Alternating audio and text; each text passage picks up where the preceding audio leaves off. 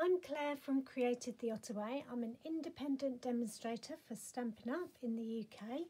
Thank you for joining me today. I've got a really special little make um, that I'm going to craft along with you today. Um, it's a book card. Uh, I've seen it on a fellow demonstrator's um, YouTube page, Bridget Keeling. So if you go and have a look at hers, she does a really beautiful version of it. Um, mine I've just scaled down a little bit in size and also to make it a little bit simpler for you to craft along with using your Stampin' Up supplies. Um, so this is it. It's basically an easel card. So it's like that. Oh, so you can see. It's an easel card when you look at it sideways, but the back section is made to look like a book and it's just propped up with this front piece here. So you could use it for lots of different occasions. I have decided to make a Christmas version and the paper that I'm using I am just going to check for you because I think it's Peaceful Places but as soon as I say that I'm hesitating so let me check what the paper is. Although you use such a minimal amount peaceful place. Yeah. Oh I actually got it right. Okay. So I've used one of these the 12 by 12 sheet I've just cut down into this piece to do the front version the front page here. And the back is just the bark piece. I don't know if you can see um, but if you turn it over on the other side it's got the trees. So it's a chance to use one of the the shiny sides up. Um, and then it just folds flat. Now it probably would be okay in the post but it is slightly fatter than what a normal card would be. So uh, it will fit in a standard size envelope. So I would make sure that the person you're giving it to you can give it to them by hand rather than posting it. Um, but it's worth the extra ex effort. It's a real, really lovely little card to make. So how do we make it? So we need a few different pieces. We need a card base, um, which is basically an A4 sheet cut in half. I'm not sure which, the light's not that great in here today. Um, that we're going to score to make the easel card and then the pages of the book, the back piece, there's two pieces that are designer series paper, the very back piece and the very front piece and then the pages in between um, I've just done in white. So if I bring it back again you can see the back piece is like that. There's three pages and then there's another piece for the front. So they're the sizes that you need for that. Um, what else do I need to tell you? I've also used one of the dies from the basic border dies from Stampin' Up. So you know this one that you get all these different ones in. Well, we're going to be using that die. And I think that's it. It's really just a few different makes um, and then you can make it your own. So let's move those sizes out of the way and I will show you the pieces. So we're going to start with an A4 sheet of Whisper, a basic white card. Okay, and we're going to turn it onto the long side of the A4 and cut it at 5 and 7 eighths. So basically you're just cutting an A4 sheet in half. And then we're going to turn it sideways again, which is now on the longest side, and score it at 4 and 1 eighth. So it gets scored at 4 and 1 eighth and then we also score it at 2 and 1 16th which is just turning that one side in half again okay? And you will end up with this piece. So that is going to be folded in half to make your base card. So like you would with a normal base card and then folded again to make your easel okay? Just like that so if we put the easel bit to one side, the next thing you need to do is cut your rectangles. So that's my back piece, okay, and that is 5 and 7 eighths by 4 and 1 eighth. Then I've got a rectangle of white that's 5 and 5 eighths by 3 and 7 eighths. Another rectangle that's 5 and 3 eighths by 3 and 5 eighths. And the last piece of white is 5 and 1 eighth by 3 and 3 eighths. And then we do the front piece. So the front piece, I have got this piece ready, but obviously it's going to end up smaller than this. So what I want to do is have a bit of a seam. So roughly, if I think I'm going to chop this whole bottom piece off here because I don't need it, and chop off the top piece or as fairly close to the top of the tree as you want, just so that you can see that it is a, a tree scene. And just make this piece five by three and two eighths. And then what happens is you're left with a much smaller piece but still has got a scene on it. Obviously if you didn't want to chop up your paper that tiny just get some white card and make your own scene. Um, that would be fairly easy to do as well and that would just be the front of your card so what happens when you've got all of your pieces you're just going to take them and fold them in half. So literally just fold it right on the edge and just make the pages of your book. So you're going to do that on each piece, okay, each of these, including the back cover. Now, if you want it to be the right way round at the back, what I mean by that is when you put fold your card down, you can't see the back, but when it's standing up, you can. So I like to just make sure that my trees are going the right way so that whatever angle you look at this card, it looks good. So just make sure that your trees are the right way. Or actually you would do that when you're cutting the card, wouldn't you? It would be a bit late in this stage if you just decided now. Okay, so you're going to have lots of little folded pages. You're going to have a little pile of those. So I'm going to put those to one side apart from these two and just explain what you do with this border uh, die. So this has got a curve on it. Now that it is slightly shaped, it's more elongated this side than this side. Or that could just be an op optical illusion. But what you're going to do is turn it over so that the opening is on one side. And you are going to line up this die with the top of your piece of designer series paper and we're going to use some washi tape if I get one of my plates now, you can tell I craft a lot because my plates are so well used. So I am going to put that on there. I'm going to put this right across because it just fits across the middle of this plate. And I'm just going to position that in place on both sides. And then I will run that through your die cutting machine. Okay? And then what you end up with and you want to do that top and bottom. And then what you end up with is this piece with this shape that when you open out actually looks like a page. And you do that on all of your pieces. So you fold it over and die cut it double because when you open it up you will see stitching on both sides and that gives you a nice shape okay? And that's just going to go like that. This one is going to go like this. This one is the next one. And then remember that big piece that was like that? And we cut it down. It now still looks like a lovely scene only a much smaller version. Okay. Now I don't know if you noticed but on the other side of mine what I've done is I've put tape on the long side.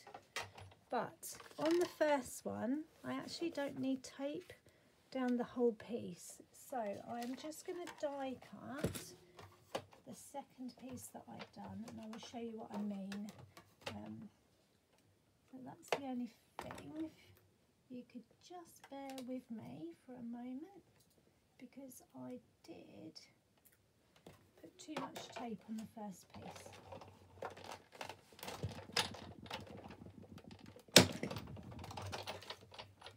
So I'm just die cutting this piece again to show you.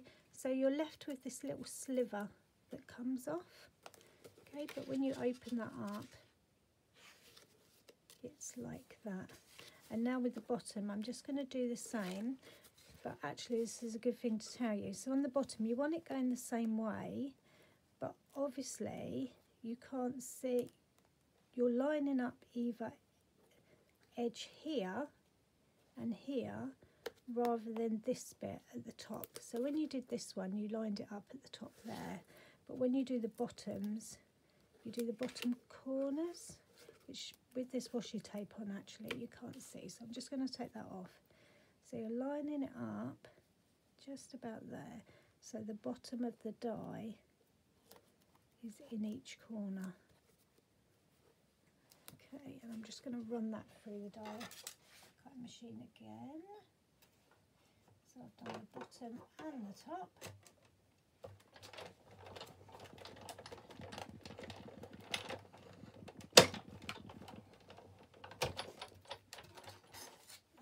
Okay.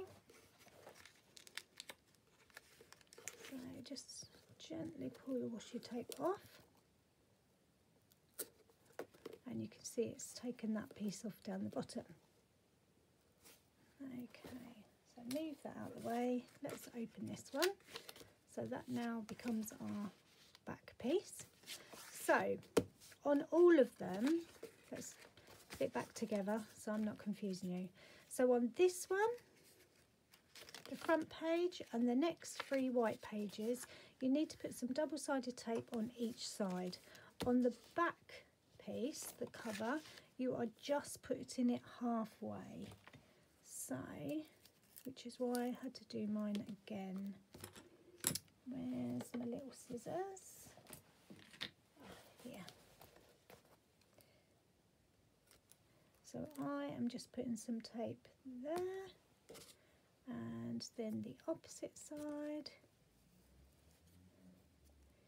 I know this feels a bit fiddly and a bit too many high rise instructions but if you bear with me it will all become apparent when we start putting it together. So let's make sure these are all in some sort of order. So what I'm going to do now so on um, Bridget's video she had this really clever trick where she stitched her pages together um, which actually looked really effective. But for all of those of us who have not got needle and cotton, we're just into paper crafting, I'm going to show you a way to do it that will just be gluing. So what I've done just visually, I've gone through and I am lining up my pages and then I've got a couple of paper clips and I'm just going to hold those in place put those on, one there and one there. Just hold it in place for a moment. Okay, then I'm going to get my glue ready and make sure that my glue is coming out. So let's have a little scrap of paper. But I just want a thin line. Okay, so it's coming out in a thin line. I'm going to take one side off and where the join is, I am just putting a thin line of glue just in the join, okay? Just along there. Some glue actually come out. It's really hard to see, isn't it? The shadow from my hand is not helping. So that's got, you really don't want very much at all because as soon as you've got loads of glue, your pages will stick and then this one okay and that is going to go on there I'm just going to leave that for a minute or two just to make sure that it's just stuck in the middle. Okay, so let's move that out the way. And then I'm going to bring my card base back in. Okay, now this is the bit that's going to go down. So obviously I've already scored that and it just wants to pop up, which is a good thing. I'm going to turn it over and I'm going to remove the double-sided tape either side. And actually I'm going to put some in the middle as well, just because it will hold my book in place. I'm just going to do it on the crease the same. Oh, just press that down. Oh, doesn't want to stick now because I've got glue on my fingers instead. Okay. And I'm going to stick that in place. So what I'm doing is making sure that it's straight here. Both sides and making sure that it's in line and then that will just stick like that. I'm going to pop those off like so and that should be my easel part and now I'm going to make the pages so what I'm going to do I'm just going to give these a little bit of a hand the other thing is you need to shape your pages so I find this easier to do on it as I'm doing it. Okay, so I'm just going to shape these. You could do this piece before. Let's do that side. Because I don't want them too shaped. If that makes sense. So that's one side done. I'm going to spin it round and I'm going to do this side Start from the back. Oh, hi Amber. Sorry, my little kittens who are not so little anymore. They're now a year. Where has that time gone? I've realised that I'm videoing and are now in the room. okay, so just gently done that with my bone folder okay and then what happens is if you start at the back piece take your double-sided tape off and just shape your page so I'm just sort of bringing it up a little bit and just folding it down okay so it's just got a little bit of a curve there Amber you're gonna have to get down darling because you're in the way Come on this way. Come down. This it. This way. Thank you. Okay. So like I was saying, that's the first page. Not too much of a of a bend. Is that the right word? Okay, next I'm going to do the next one. So that's going to go there. And then that's got also a little bit of a bend. Then the next one. So that's just going to come in again slightly to give that curve. Now I'm hoping that you can see this because the video, the light in the room is not that great. But if I contrast it that side to that side, you can see that it already looks like a book there. So I'm just going to go back and do this side. So one at a time. So I move it in ever so slightly and then just push, push down on the edge. And then the next one.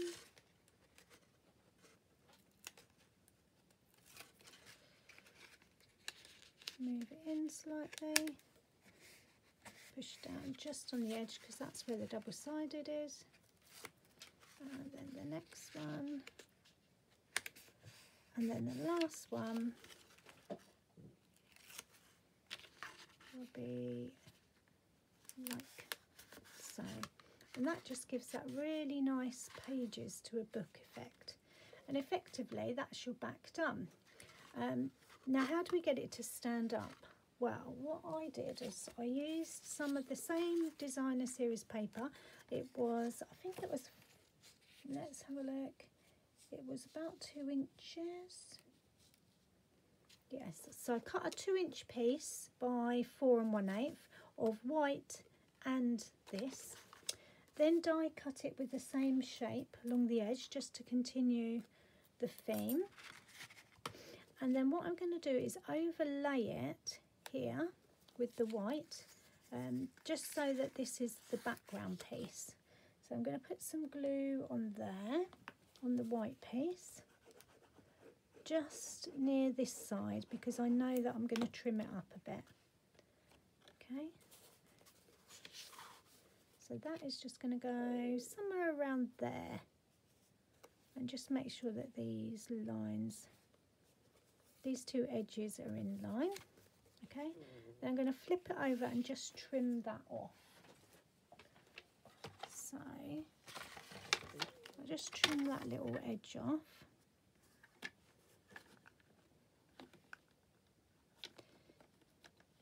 Just about there to straighten that up and put some dimensionals on the back of there because you need it to stand up. So, oh, new pack of the dimensionals. Don't you just love that? Starting a new pack. So you can put as many or as least as you want. I think that's probably about right. Just all over it. We are nearly there. Don't you just love it already? I can see lots of uses for this card. So let's move that out the way. That is going to go uh, oh, along there. Okay, and that's just enough that that will stand up like that. Um, if I bring back my original one, so you can see it's exactly the same the only difference is I've added some extra detail on my front page. So I die cut some Christmas trees. These are actually from last year's set in the pines. Um, and I've just trimmed them to fit. And then the sentiment that I've used is here. And that is from this year. That's from Christmas to Remember stamp set. Just felt like you needed a nice bold Christmas sentiment along there. So I've used Merry Christmas but that is it. So I hope you've enjoyed the craft along today and that it's not too complicated for you. I like to show you how to do things in a simpler way using your Stampin' Up products. Um, if you liked watching my video, subscribe. Um, I'd really love to see your makes. Just just send them to me at createtheottaway at gmail.com or, or just email me for a crafty chat. Thanks for watching. See you soon. Bye.